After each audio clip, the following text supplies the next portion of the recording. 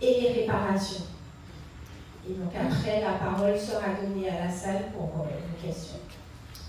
Oui, bonsoir. Je voudrais également remercier le, NIR et Samassa pour euh, l'invitation à participer à ce 23e convoi euh, pour les réparations. Je remercie également euh, un co-intervenant pour l'exposé qu'elle a fait qui m'a permis de penser certains points auxquels je n'avais pas forcément pensé sur la question des réparations et sur les enjeux. Euh, qui euh, sont posées par cette question. Alors, je travaille depuis 2005 sur le panafricanisme et euh, je vois en parallèle l'évolution de ce, de ce mouvement qui a plus de deux siècles d'existence et l'importance de poser la question des, réparations de manière systémique dans le cadre des histoires comparées, des histoires connectées qui font précisément la, définition du panafricanisme. Le panafricanisme, c'est vraiment le répertoire d'expériences, de trajectoires de toutes les populations qui ont été arrachées au continent africain, qui ont connu différentes trajectoires. Certains ont été intégrés au cœur de l'impérialisme américain, qui est euh, la nation la plus développée sur le plan capitaliste, qui ont donc une approche différente des réparations d'autres ont été conduits dans d'autres espaces où justement la question du marché, la question du capitalisme euh, se pose différemment mais se pose toujours. Donc l'un des éléments qui me semble euh, important, c'est euh, effectivement d'identifier les logiques de système, notamment les systèmes économiques qui sont à l'œuvre dans ce, débat, dans ce combat, et de bien rappeler que le capitalisme est quand même le système de départ que l'on doit viser lorsqu'on pose la question des réparations.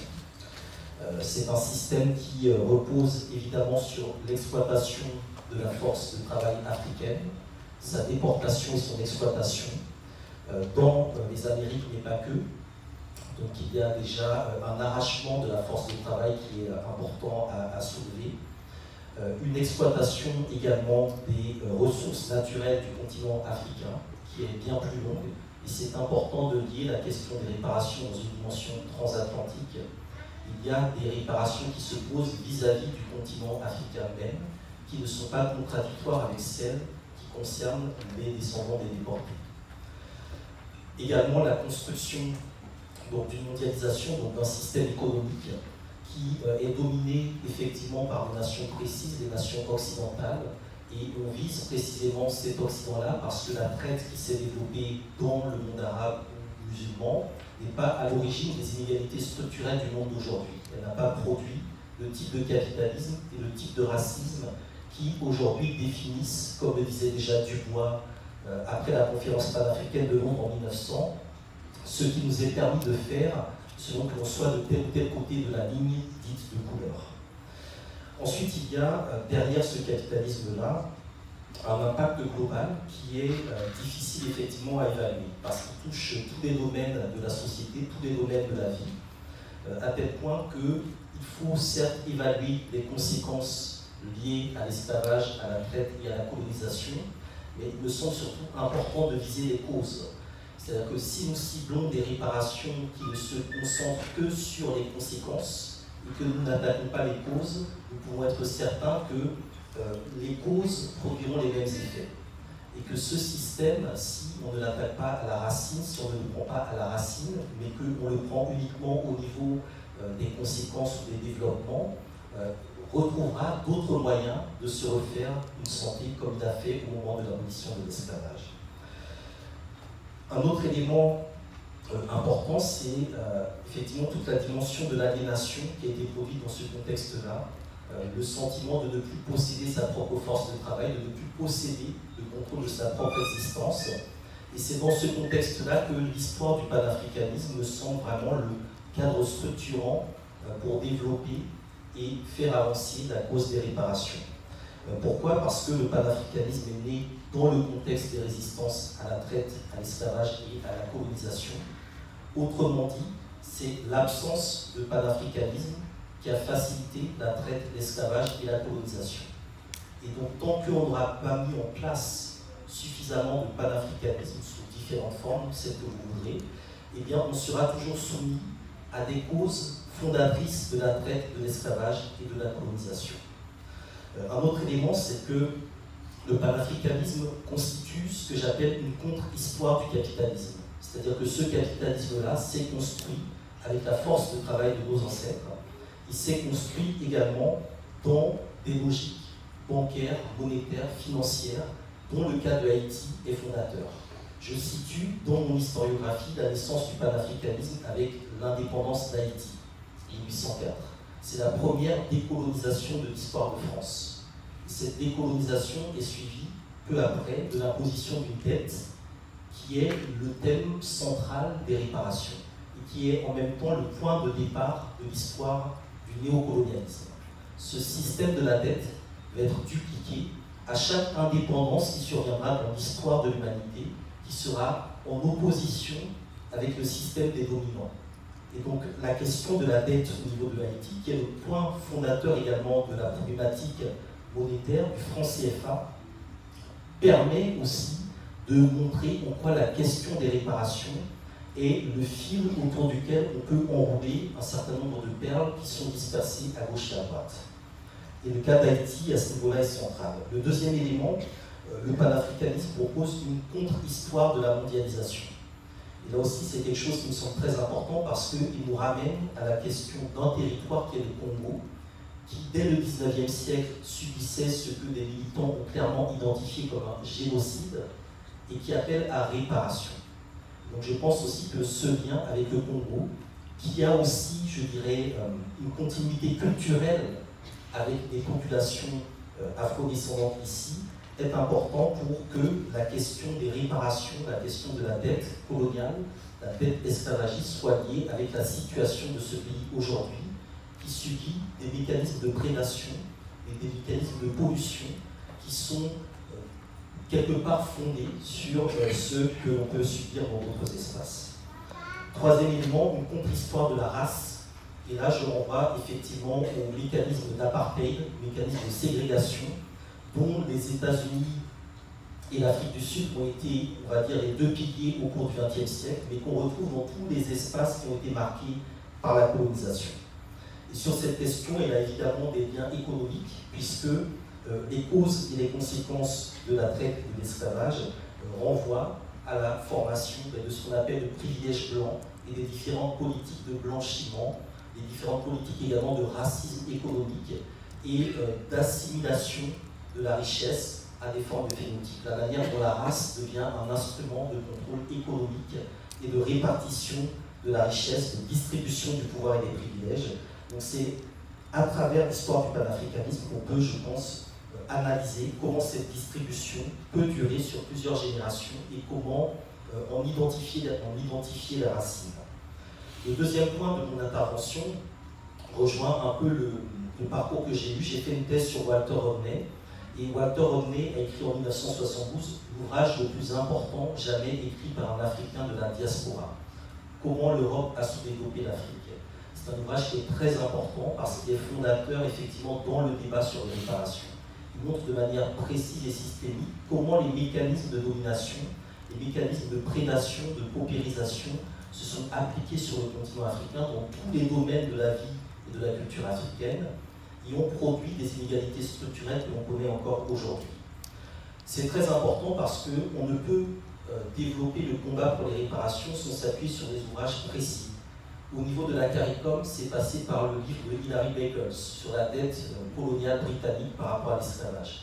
Donc il est important également que dans l'espace dit euh, francophone, ou de manière plus générale, on s'appuie sur des ouvrages de référence, sur des ouvrages qui font autorité, que le système a régulièrement voulu censurer pour justement les mettre en avant. Il y a également Eric Williams, Capitalisme et esclavage, mais Walter Rodney me semble le plus intéressant parce que dans son analyse de l'histoire économique, il pose un certain nombre d'enjeux, comme celui de la longue durée, comme également les problématiques de désengagement économique, de déconnexion économique qui renvoie aujourd'hui à des recherches d'alternatives dans des sociétés comme celle de la Martinique.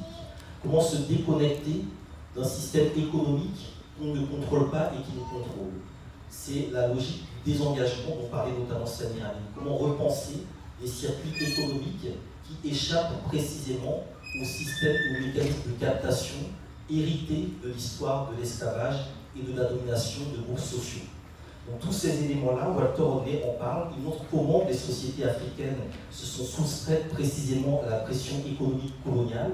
Et je pense qu'on peut faire le lien entre cette histoire-là et les différentes initiatives et alternatives économiques, populaires, paysannes, endogènes que l'on trouve dans la Caraïbe et notamment euh, en Martinique. Euh, un élément aussi très intéressant, c'est la manière dont cet ouvrage identifie vraiment les fondements du néocolonialisme économique qui permet de montrer comment, par exemple, un territoire comme la Martinique, qui est dit département français, représente en fait le même modèle économique qu'une néocolonie. Et ça aussi, c'est assez intéressant à soulever, à travers notamment les questions de réparation et de dette, les questions de crédit. Euh, Walter Rodney pose aussi la question du néocolonialisme sécuritaire et la manière dont précisément cette histoire de la traite, de l'esclavage et du colonialisme est là dans ses conséquences, et là dans ses mécanismes de réparation, une nécessité de repenser les logiques de violence policière, les logiques d'identification ou d'assimilation au terrorisme, également les logiques de répression de l'État colonial. Euh, un autre élément, la question du néocolonialisme transnational à travers les enjeux migratoires. Et je pense qu'au niveau de la Caraïbe, dans la réflexion sur les réparations, il y a tout un enjeu sur notamment le sort des migrants et réfugiés haïtiens dans la Caraïbe. Moi, je travaille au niveau du Venezuela, je forme des leaders vénézuéliens sur ces questions panafricaines et autres, et eux, effectivement, mettent en avant la nécessité d'inclure dans les réparations les problématiques transnationales et migratoires qui concernent également le continent africain, puisque cette jeunesse qui sort du continent africain le fait parce qu'on est encore dans des mécanismes de prédation des richesses et des ressources africaines, alors qu'on devrait être dans des logiques de réparation par rapport précisément aux revendications euh, panafricanistes. Un autre élément, le néocolonialisme concurrentiel, puisque la question des réparations se pose vis-à-vis de chacune des puissances esclavagistes et coloniales, que chacune de ces puissances-là a une approche, un traitement différencié. J'y reviendrai un peu plus tard par la suite, mais je pense que c'est très important de montrer qu'on fait face à un système global qui, sur la question des réparations, dans son refus des réparations, se serre les coudes et qu'il est donc important qu'il y ait euh, dans ce contexte-là une dimension euh, transnationale et internationale comme celle du MIR. Un autre élément, troisième élément, c'est de la perte d'opportunités économiques par rapport à l'Afrique. Je pense que c'est important également, euh, quand on pose la question des réparations, de s'apesantir sur cette question de la perte d'opportunités économiques qui est euh, l'un des fléaux, l'un des problèmes que rencontre euh, sans doute une grande partie de la jeunesse martiniquaise, c'est-à-dire l'incapacité de pouvoir se lancer sereinement dans la vie économique et professionnelle du fait d'un système économique, monétaire, bancaire, financier sur lequel elle n'a pas les mains. Et je peux vous assurer que cette problématique, quand vous allez dans la plupart des pays africains, y compris notamment ceux qui ont le franc CFA, et les jeunesses se posent les mêmes problématiques. Comment sortir précisément de l'absence de possibilités d'opportunités économiques africaines? Cela est lié à un système de l'esclavage colonial qui a interdit un certain nombre d'éléments.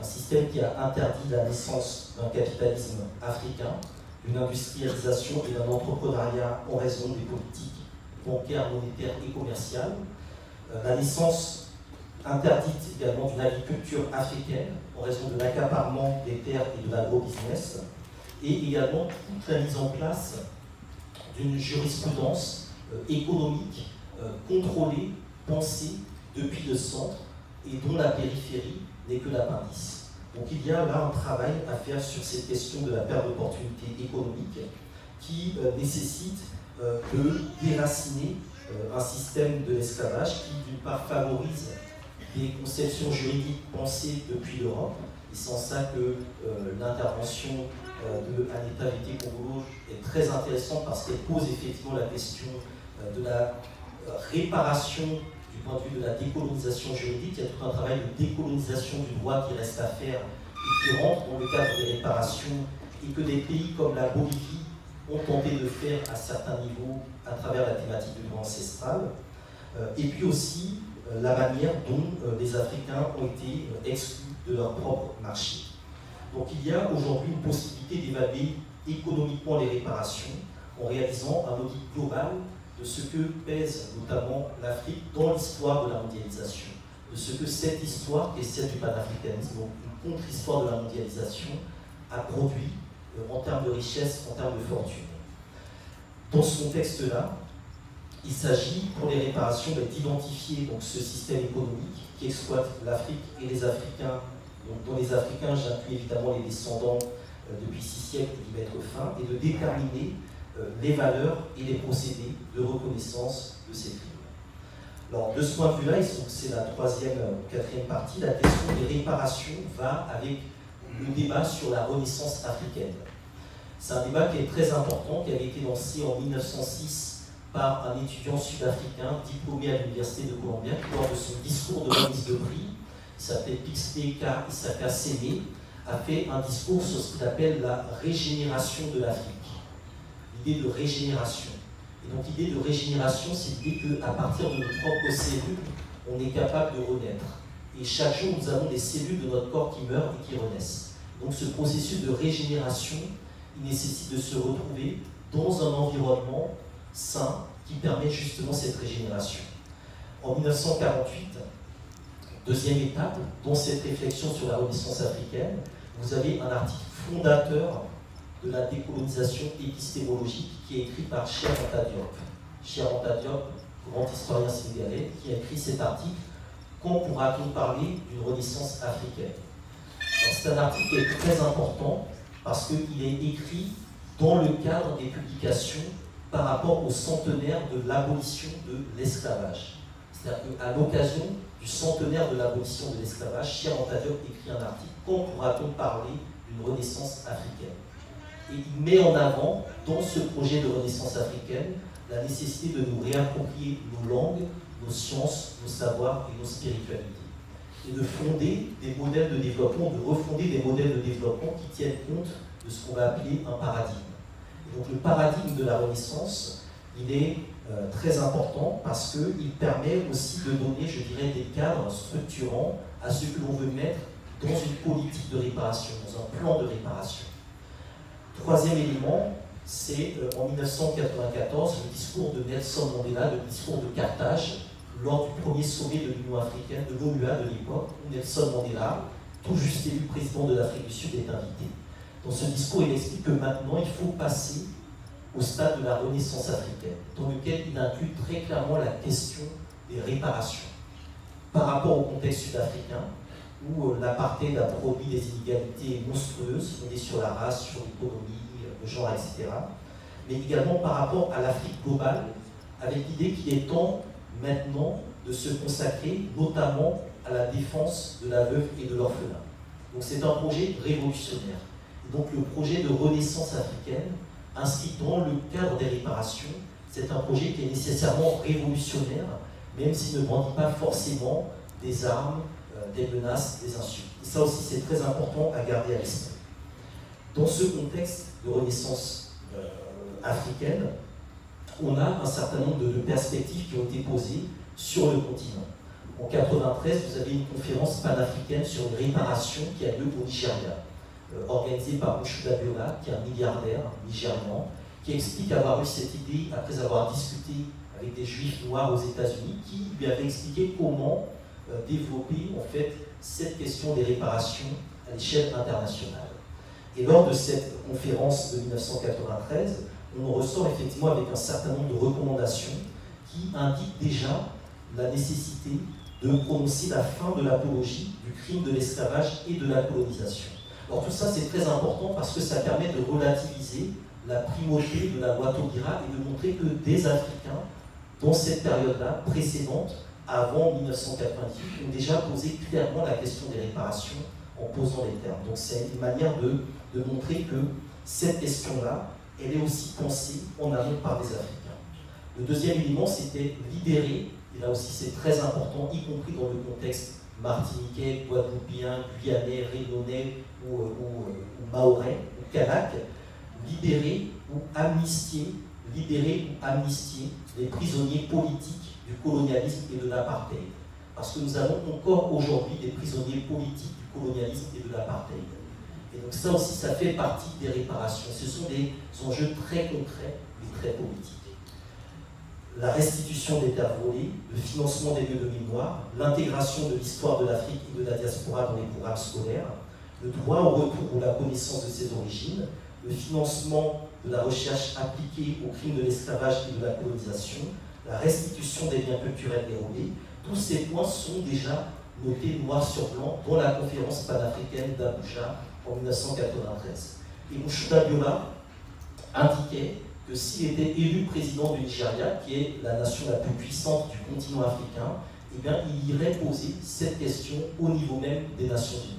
Je peux vous assurer que si un pays comme le Nigeria, 200 millions d'habitants avec une diaspora très influente aux États-Unis, rentre dans le jeu, eh bien, ça va réellement changer la donne et faire basculer une grande partie du rapport de force. Malheureusement, Abiola s'autoproclame vainqueur des élections, est emprisonné par la junte militaire et mourra euh, un peu plus tard, euh, juste à la sortie de détention. Pareil, 1994, dans le contexte africain, c'est une année zéro avec le cas de l'Afrique du Sud, le génocide au Rwanda, où la question des réparations se lie directement à la réconciliation. Comment penser la réconciliation, la réparation, la reconstruction? Comment mettre en lien tous ces éléments-là? Et ce qui va, euh, je dirais, euh, être très intéressant, c'est euh, la manière dont la conférence de Durban, effectivement, va poser ces questions et susciter un certain nombre de divisions qui vont en même temps stimuler d'autres approches sur la problématique des réparations, notamment celles du MIR, qui sont vraiment importantes. Cinquième élément, j'ai évoqué Walter Rodney, je voudrais évoquer une deuxième figure un peu plus en détail qui est Wole Soyinka. Wole Soyinka est un très grand écrivain nigérian, il est ce qu'on appelle une autorité morale incontestable. Nelson Mandela est une autorité morale incontestable, et Wole Soyinka est dans le même ordre d'idées. Et donc, il nous revient, il nous incombe sur cette question des réparations, de trouver suffisamment de personnalités qui sont des autorités morales incontestables pour les faire avancer. Et le cas de Riquet est un peu particulier. Il a, été prix Nobel de, littérature, mais euh, il a aussi écrit un ouvrage dont je traduirai le titre sous la forme de La muse du pardon, la mémoire de l'oubli, la construction de nouvelles empathies. Donc il introduit le concept de l'empathie qui me semble assez intéressant parce que, évidemment, demander des réparations à un système froid comme le capitalisme qui n'a pas d'empathie, c'est comme se cogner à un mur. Donc il faut poser effectivement la question de l'empathie. Et Wole Soyinka pose plusieurs questions qui me sont très intéressantes. Tout d'abord, il s'inscrit dans ces débats sur les mécanismes de justice transitionnelle, tout ce qui est commission vérité, tout ce qui est procès, tout ce qui est amnistie, donc amnistie en échange de la reconnaissance du crime, euh, tout ce qui est réparation et réforme institutionnelle valant réparation. Ça, c'est un premier élément. Deuxièmement, il dit très clairement que les réparations portent une transformation démocratique des sociétés en essayant de combattre l'inégalité et l'exclusion par la justice. Autrement dit, ici en Martinique, les réparations sont un enjeu de démocratie. Il ne peut pas y avoir de démocratie économique et sociale réelle tant qu'on ne résout pas la problématique des réparations. Et ça vaut pour la Martinique comme pour d'autres territoires, de la même manière que ça a valu pour les États-Unis d'Amérique par rapport à leurs questions euh, noires. Troisièmement, dans le cas de Sonika, il pose toutes les questions contradictoires pour aborder avec sérieux la manière dont on veut ridiculiser, caricaturer le sujet des réparations et instrumentaliser la division qu'il produit. Et aussi, je pense que c'est très important de prendre même au sérieux les critiques, les caricatures, les moqueries que l'on reçoit et de les renvoyer de la manière la plus sérieuse. Je crois que c'est un sujet trop grave pour que l'on fasse des blagues, pour que l'on fasse de l'humour dessus. Donc c'est important à chaque fois, je pense, de rebondir sur le sérieux des réparations qui cachent quand même derrière ce qu'on appelle un crime contre l'humanité. Et dans ces approches, Sonika pose la question de se demander si le principe de la réconciliation serait une forme d'impunité. La réparation est-elle la condition de la justice ou la vérité peut-elle suffire? Dans son cas, il identifie le fait que les victimes sont vivantes à travers leurs descendants qui demandent réparation. Les coupables sont vivants à travers leurs descendants qui bénéficient du privilège.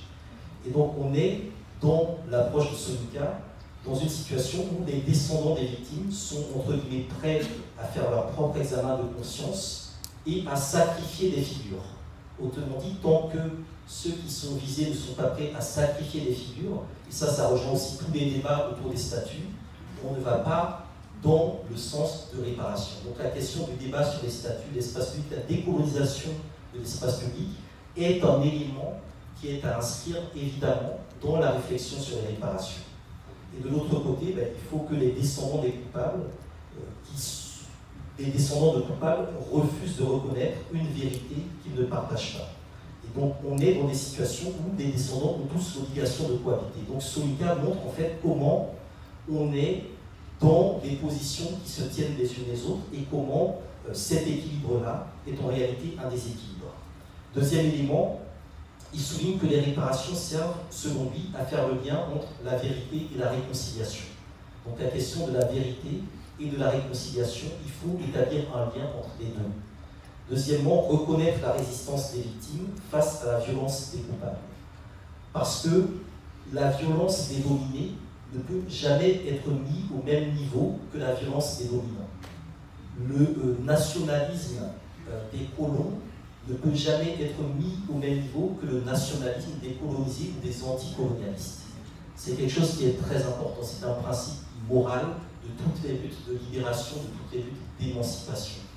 Et ça aussi, c'est quelque chose, je pense, qui est nécessaire à, à, souligner. Les réparations servent à empêcher la répétition du crime, à accuser et pardonner sans oublier. Sur la question de l'impunité, Sonika estime qu'un principe de restitution est obligatoire après un acte de dépossession, mais qu'en même temps, l'histoire de l'Afrique est pleine d'impunité des dirigeants envers leur propre peuple. Et ça aussi, c'est un élément qui est très intéressant, c'est-à-dire que l'impunité doit être aussi un élément central de la réflexion sur les réparations et elle doit s'inscrire évidemment dans l'actualité contemporaine. Comme je le disais, il ne s'agit pas de traiter les conséquences, mais de traiter les causes. Et donc cela nécessite que l'impunité se fasse aujourd'hui, se fasse aussi par rapport au contexte et aux conditions d'aujourd'hui, et non pas pour réparer ce qui s'est produit de manière ancestrale uniquement. Et donc ça touche évidemment ben, au démantèlement ben, d'une forme de justice qui promeut ou qui n'aborde pas la question de l'impunité sous toutes ses formes dans l'approche de Sonika toujours. Donc je, ne me cache pas derrière Sonika, mais je pense que c'est important parce que c'est une autorité morale. Il y a aussi l'idée que euh, l'absence de réparation fait que les relations raciales sont marquées par la culture de l'impunité. Il prend le cas des États-Unis. Le cas de George Floyd et de bien d'autres, c'était bien avant George Floyd qui a écrit ça, mais le fait qu'il n'y ait pas de réparation maintient dans le système producteur d'inégalité, dans le racisme producteur de cette inégalité, une culture de l'impunité dans le rapport de classe, de race, de genre et le rapport social. Et dans ce contexte-là, les réparations sont une obligation pour réparer la vision raciste de l'humanisme européen. Ça, ça rejoint notamment les, propos de, de Aimé Césaire dans le discours sur le colonialisme et le fait que l'Europe est capable de réparer d'autres Européens, mais elle n'est pas capable de réparer des peuples qu'elle continue à penser ou qu'elle a construits comme étant inférieurs ou infériorisés. Donc la question des réparations s'inscrit aussi dans ce parallélisme, dans cette homologie structurale entre l'Occident, qui se verrouille et qui se ferme, et le reste du monde. Donc, un autre élément dans l'identification des acteurs, celui-là pose vraiment les questions sensibles doit recevoir des réparations, qui doit en verser. Les Africains peuvent-ils demander les mêmes réparations que les euh, Africains de la diaspora euh, Y a-t-il des groupes en Afrique qui doivent payer des réparations? Que faire de l'Afrique du Nord, etc. Ce qui est intéressant, c'est que euh, Solika identifie effectivement l'un des arguments utilisés par ceux qui refusent de payer des réparations. C'est-à-dire l'idée que la pauvreté, la misère, et tous les autres problèmes que connaissent les anciens territoires colonisés ou esclavagisés ne seraient pas la responsabilité des Occidentaux ou la conséquence de la traite et de l'esclavage, mais le résultat de la corruption, de l'incompétence, de la paresse des dirigeants africains et de l'échec des États indépendants post-coloniaux. Ça, c'est vraiment la manière dont on se débarrasse en fait de cette question. Et ça aussi, ça renvoie, je dirais, à des approches qui, euh, euh, qui sont vraiment... Euh, comment dire, euh, euh, dans la structure de domination.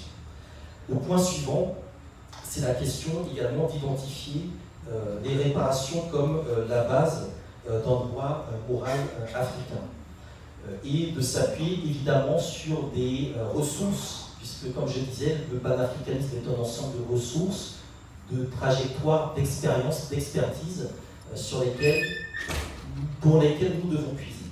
Euh, le premier élément sur le droit ancestral africain, c'est évidemment le concept de la maat, euh, la question de euh, l'équilibre par rapport à cette philosophie de l'Égypte antique et la restauration des principes d'équité et de solidarité.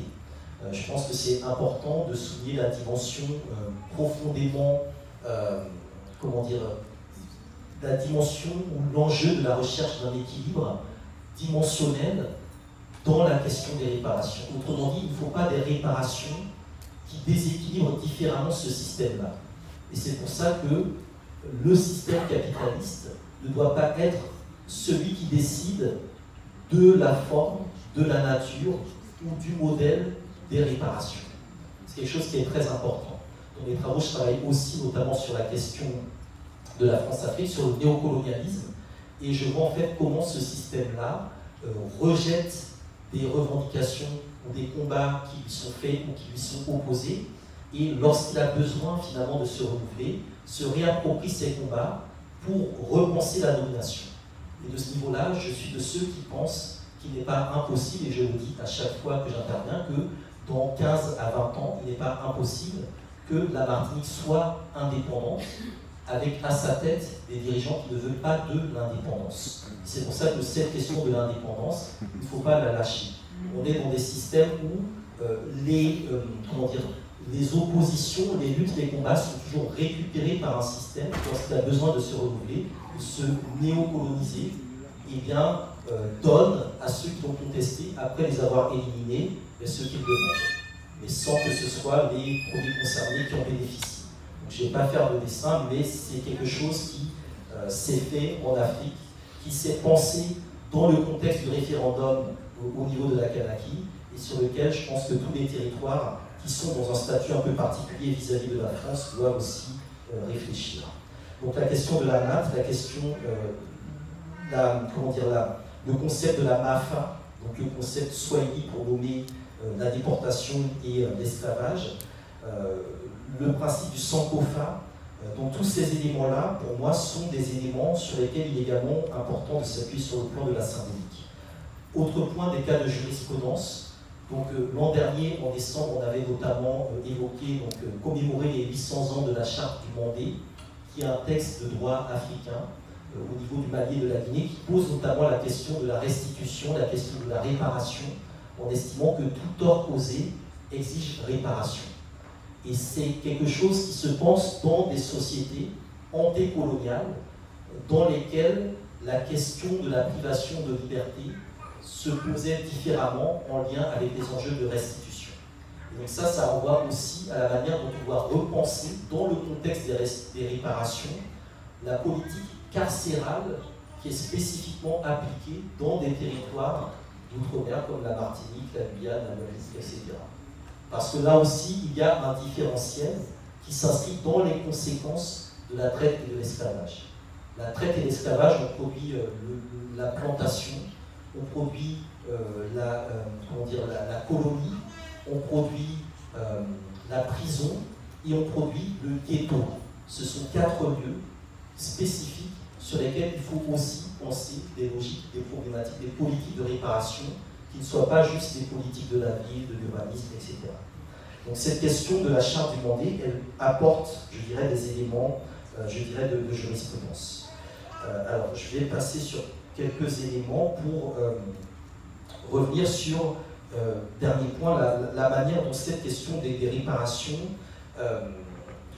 pose, je dirais, plusieurs, plusieurs tableaux et plusieurs champs c'est une question qui vient contredire le récit national colonial, donc le récit notamment abolitionniste.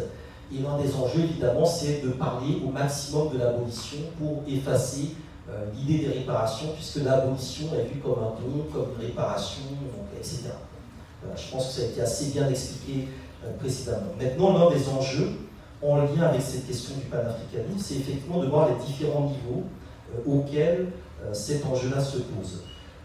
Aux États-Unis, comme je le disais, on est sur un droit national.